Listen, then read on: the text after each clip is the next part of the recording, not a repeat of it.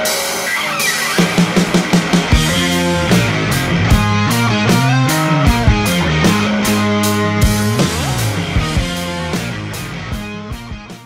up guys, it's Eric at JPC. Today we are going to do a quick video on the FT600 Pro harness just to see how it fits on a Coyote and what comes with the kit. All right, so this is the Pro harness, like the interior branch section of it. Um, so that we figured we would start with this first, kind of work inside of the car towards the engine. Down here we have uh, your FT600 A and B connectors. These plug right back into the Fueltech, you know, pretty straightforward. Ta-da. Uh, these are CAN connectors for any additional CAN devices you want to have. And then it's also pinned over here for Nanos or Nano Pros. They just plug right into that. When you buy a Pro harness, it comes with this little 3D printed piece, which is basically a jumper for a injector driver. So if you're running high impedance injectors, you're gonna keep this plugged in. If it's low impedance, like a 720 or 520, something like that, you're gonna have to unplug the 3D printed piece and put an injector driver in here. Once we get down to this section, we get towards basically like your bulkhead connector that's gonna go through the firewall, just to kind of give you a reference on, on size. This is probably the most work of the whole install. You have all your additional inputs, outputs, things like that that have to be wired in on your end. They're not pre-done, but they're in connectors in a way that's gonna make them easy for you to, to work with. the white wires are inputs, and these are all numbered, uh, one through 20. Some of them, some of the one through 20 is already in the engine harness. We'll get to that shortly. Anything spare is gonna be in this connector here, which it comes with the the other end of it with all the pins so that any additional sensors you want to put in like transmission pressure two-step all that kind of stuff is going to be pinned to this connector.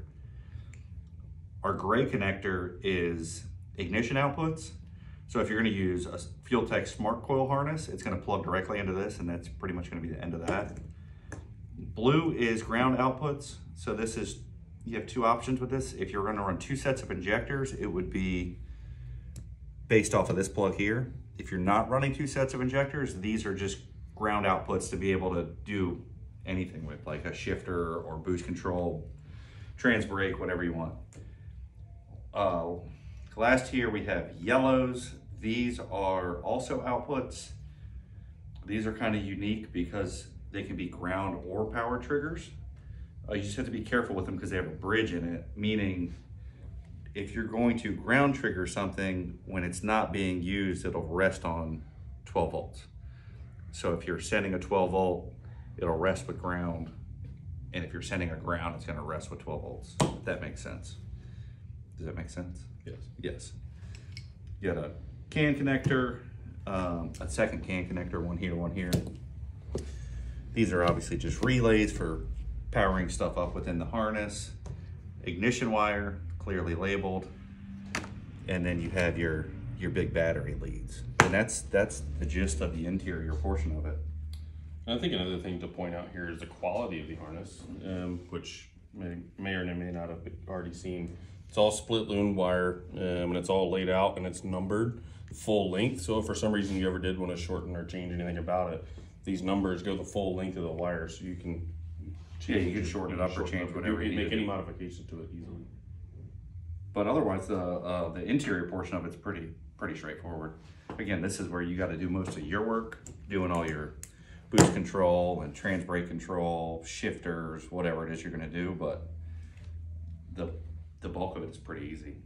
Yeah, I think it's pretty limited on how predetermined they can make it because every car is different. Right. So being able to have it fit anything um, is a little difficult to do. All right, so we wanted to sub this part in. This is uh, this is your smart coil harness if you elect to go this way. So again, this comes with a second bulkhead that'll go out to the engine. And on the inside, you get, I don't know, it's probably about 15 feet of heavy gauge red and black that's gonna go to your battery. It's got two 30 amp relays, one for basically each bank of the engine. And then in order to hook it up to the 600, you just plug it in. like that. This is your trigger wire for the relays. Fueltech suggests to use a output from the ECU to trigger this so that the coils don't rest with power on them all the time. That would be in the instructions if you want to read further into it, but basically use a yellow output as an RPM trigger at 100 RPM that will light the coils up to give it spark once it's actually trying to start instead of the coils resting with power all the time. But otherwise, yeah, hooking up the the smart coil harness, that that's really it. You get one wire on your end and then the battery terminations and a bulkhead. Yeah, so all the load of the coil is carried in the power and grounds, and these are just basically to tell it when to fire the load um, from here to to spark the Yep, sparkler. yep, exactly. The eight, these eight gray wires in here are your a, your ignition outputs, so they're gonna fire every time it's it's ready to fire. And for simplicity's sake, all of this is really inside the car. The, once these two here go to the bulkhead it, at the firewall, it gets really cleaner. Um, you lose a little bit of this bulk. You won't really see it. All Yeah, this all stuff this is gonna behind be the pretty much behind the dashboard, other than your your heavy power leads, which you know you got here and here, and then the rest is just gonna be up behind the dashboard. It's pretty straightforward, easy, well laid on out. extremely well labeled. That's the best thing. Like everything has labels that are heat shrunk with exactly what they are and what they go to. So Yeah. it's really easy to It's pretty idiot proof. All right, so we're moving over to the engine side of things for the Pro harness, and we're gonna start here in the back, which here's where your bulkhead connector that's gonna terminate to the interior branch is, and we laid it out in here kind of the way that it would go in the car, just to give you an idea on what the lengths and everything would be. On the back side, we pulled out what needs to go to the back really. So you have two leads for your O2 sensors. Um, if you're gonna use two or one, doesn't really matter. It's wired for both and they are extra long. So you can go long tube headers or move them to the front of the engine for, you know, a front exit downpipe or whatever. The other two, three things we got back here is a CAN hookup for E EGT4. Normally these would mount to the firewall or something like that. Get your EGT links to your headers. And last are your cam and crank. These are two pieces that you're gonna have to modify for a Coyote.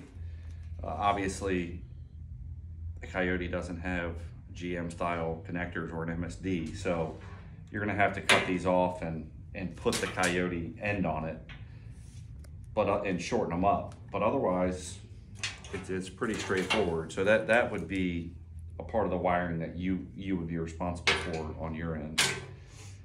If we move up here to the, kind of the engine part, we, this is a GM harness, but we, it's the same the essentially. mock-up, yeah. Yeah, other than the numbering on the injectors. So we showed how you can kind of route the injectors. They come pre-done with EV1 connectors on them. Again, this is GM, but they're all labeled and everything. Be the same on the opposite side. Up here, you're gonna have a couple more sensors that are typically required. Um, you'd either use this as back pressure or you crankcase pressure. Um, it's a general pressure sensor. You can use it for either. You could even use it for dome pressure if you wanted to option it for that. Um, then you'd have your TPS hookup for your throttle body. You would have your air temp sensor for your IETs. And then there's a couple more standard options. Fuel pressure you're gonna need, um, coolant temp. And again, these are generic, so you could technically you'd use them for other things if you wanted to move the links around. You just change the pin assignment. Um, but then oil pressure and wastegate pressure for doing boost. So, And that's that's pretty it.